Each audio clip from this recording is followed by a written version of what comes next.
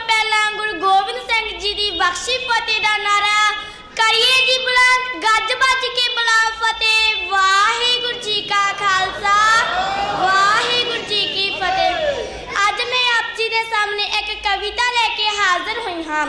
ਪੁਰਾਣੇ ਸਮਿਆਂ ਵਿੱਚ ਲੋਕ ਅਨਪੜ੍ਹ ਹੁੰਦੇ ਸਨ, ਪਰ ਉਹਨਾਂ ਦੀ ਸੋਚ ਉੱਚੀ ਤੇ ਸੁੱਚੀ ਸੀ। ਜਿਉਂ-ਜਿਉਂ ਮਨੁੱਖ ਪੜ੍ਹਦਾ ਲਿਖਦਾ ਗਿਆ ਉਸ ਦੀ ਸੋਚ ਤੰਗ ਹੁੰਦੀ ਗਈ ਇੱਕ ਮਾਂ ਜੋ ਖੁਦ ਧੀ ਸੀ ਇੱਕ ਧੀ ਨੂੰ ਜਨਮ ਨਹੀਂ ਦੇ ਸਕਦੀ ਜੇਕਰ ਧੀ ਦਾ ਜਨਮ ਹੋ ਵੀ ਜਾਂਦਾ ਹੈ, ਤਾਂ ਮਾਂ-ਬਾਪ ਉਸ ਨੂੰ ਇਸੇ ਚਿੰਤਾ ਨਾਲ ਪਾਲਦੇ ਹਨ ਕਿ ਇਹ ਤਾਂ ਪਰਾਇਆ ਧਨ ਹੈ ਇਸ ਨਾਲ ਸੰਬੰਧਿਤ ਕਵਿਤਾ ਮੈਂ ਆਪ ਜੀ ਦੇ ਸਾਹਮਣੇ ਲੈ ਕੇ ਹਾਜ਼ਰ ਹੋਈ ਹਾਂ, ਜਿਸ ਦਾ ਵਿਸ਼ਾ ਹੈ, ਕਿੱਥੇ ਹੈ ਮੇਰਾ ਘਰ?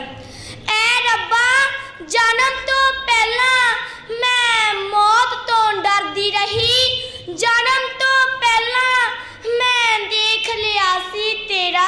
ਤੇਰਾ ਸੰਸਾਰ।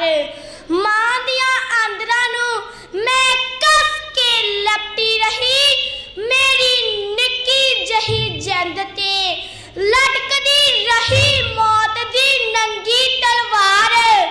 ਜਦ ਜਦ ਵੀ ਮੇਰੀ ਮਾਂ ਜਾਂਦੀ ਸੀ ਡਾਕਟਰ ਦੇ ਕੋਲ, ਮੈਨੂੰ ਲੱਗਦਾ ਸੀ ਅੱਜ ਮੇਰਾ ਕਤਲ ਹੋਏਗਾ ਮਾਰੀ ਜਾਵਾਂਗੀ ਮੈਂ ਜਨਮ ਦੇਣ ਵਾਲਿਆਂ ਦੇ ਹੱਥੋਂ ਹੀ ਕੌਣ ਹੋਏਗਾ? ਕੌਣ ਹੋਏਗਾ? ਮੇਰੀ ਇਸ ਅਨਿਆਈ ਮੌਤ ਲਈ ਜ਼ਿੰਮੇਵਾਰ? ਖੈਰ, ਮੈਂ ਡਰੀ, ਸਹਿਮੀ ਤੇ ਪਰੇਸ਼ਾਨ ਅਜਿਹੀ ਮੌਤ ਤੋਂ ਬਚਦੀ ਬਚਦੀ ਆਖਿਰ ਆ ਹੀ ਗਈ ਇੱਕ ਦਿਨ ਦੁਨੀਆ ਤੇ। ਪਰ ਅਫਸੋਸ, ਨਾ ਕਿਸੇ ਨੇ ਬੰਡੇ ਲੱਡੂ, ਨਾ ਕਿਸੇ ਨੇ ਟੰਗੇ ਦਰਵਾਜ਼ੇ ਤੇ ਪੱਤਰ ਸੋਚਦੀ ਸਹਨ ਮੈਂ, ਆ ਗਈ ਹਾਂ ਆਪਣੇ ਧਰਮੀ ਬਾਬਲ ਦੇ ਬੇੜੇ ਮਮਤਾ ਚਮ ਚਮ ਗਲੇ ਨਾਲ ਲਾਏਗੀ। ਅੱਖਾਂ ਖੋਲ ਕੇ ਨਹੀਂ ਸੀ ਤੱਕਿਆ ਮੈਂ ਬਾਬਲ ਦਾ ਘਰ। ਕੇ ਸੁਣਿਆ, ਪਰਾਇਆ ਧਾਨੇ ਤੂੰ ਚਾਰ ਦਿਨਾਂ ਨੂੰ ਆਪਣੇ ਘਰ ਕਰ ਜਾਏਂਗੀ। ਵੀਰ ਨੂੰ ਚੂਰੀ ਖਵਾਣੀ ਦੁੱਧ ਪਿਆਉਣਾ ਪਰ ਮੇਰਾ ਕੰਮ ਮੇਰਾ ਕੰਮ ਚੁੱਲਾ ਚੌਂਕਾ। ਕੱਪੜੇ ਧੋਣਾ ਤੇ ਗੋਹਾ ਕੂੜਾ ਕਰਨਾ। ਰਾਤ ਨੂੰ ਮੈਂ ਮੰਜੇ ਤੇ ਪਈ, ਸਿੱਲੇ ਜਿਹੇ ਖੇਸ ਨਾਲ ਮੂੰਹ ਟਾਕੀ ਸੋਚਦੀ ਹਾਂ ਕਿ ਮੈਂ ਨਹੀਂ ਬਣ ਸਕਦੀ। ਇੱਕ ਅਧਿਆਪਿਕਾ, ਇੱਕ ਅਫਸਰ ਜਾਂ ਫਿਰ ਇੱਕ ਡਾਕਟਰ। ਬੀਤ ਗਿਆ ਰਲ ਖਲ ਕੇ ਮੇਰਾ ਬਚਪਨ। ਬੀਤ ਗਏ ਮੇਰੇ, ਜਿਵੇਂ ਕਿਵੇਂ ਚਾਰ ਦਿਨ। ਫਿਰ ਮੇਰਾ ਆਪਣੇ ਘਰ ਜਾਣ ਦਾ ਵੇਲਾ ਹੋਇਆ। ਡੋਲੀ ਤੁਰੀ ਤਾਂ ਬੋਲੇ ਸਾਰੇ ਸਾਖ ਸੰਬੰਧੀ। ਇੱਥੇ ਰਾਜੇ ਰਾਣੀਆਂ ਨੇ ਨਹੀਂ ਰੱਖੀਆਂ।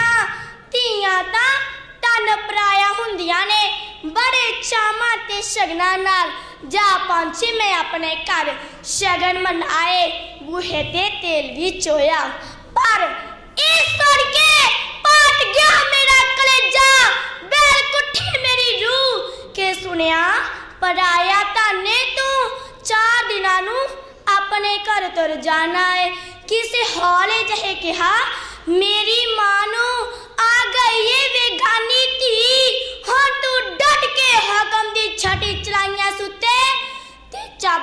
ਦਾ ਗੁੱਛਾ ਰੱਖੀ ਆਪਣੇ ਹੱਥ।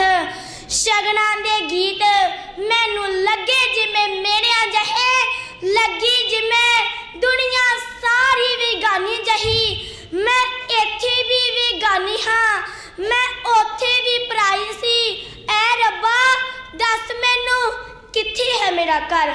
ਜਿੱਥੇ ਮੈਂ ਕਹਿ ਸਕਾਂ, ਹਾਂ, ਇਹ ਹੈ ਮੇਰਾ ਘਰ, ਇਹ ਹੈ ਮੇਰਾ ਘਰ ਇਹ ਹੈ ਮੇਰਾ ਘਰ। ਵਾਹਿਗੁਰੂ ਜੀ ਕਾ ਖਾਲਸਾ ਵਾਹਿਗੁਰੂ ਜੀ ਕੀ ਫਤਿਹ।